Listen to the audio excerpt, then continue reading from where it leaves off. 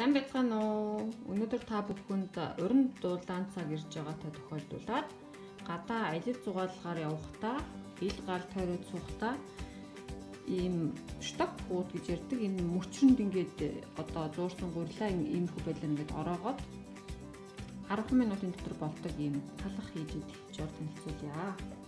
Гэр бүлэрээ эсвэл найз нөхдөөрөө ил галаа тойроод ярилцаад суух зураа ийм талах бариад болдог. Маш амархан жоор байгаа. Аа энд маань юу орох вэ гэхээр 400 г гурил ямар ч гурил гэж болно. Та бүхэн өөрсдөө хүснээр тэгээд нэг юм бага хэмжээний уурад ороож тэгээд бага хэмжээний сахар тэгээд бага хэмжээний давс тэгээд сүү сүү байхгүй бол усчиж болно. Тэгээд жоохон тос тос байвал сайн зөөлхөн болж өгдөг.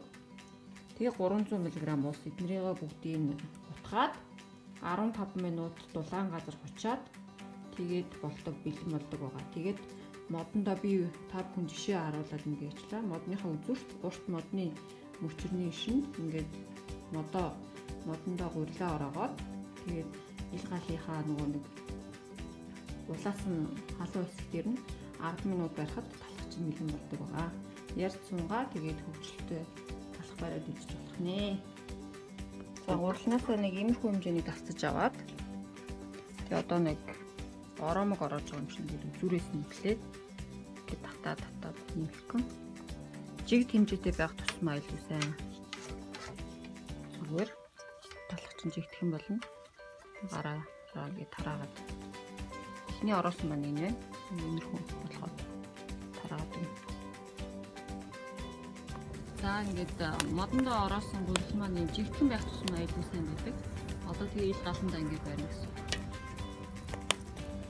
Бид яг бүр улаан дүлэн дээр нь барихгүй фокус түүнийгээд болгодог байгаа. Хүүхдүүд маш зугаатай ажил шүү. Тэгээ хамт олон гэр бүлэрээ сууж байхдаа хөвчлөлтөөрөө өрнүүлээд тав тулгаад бараад идэрээ. За юм алах маань юм хөө байж чинь.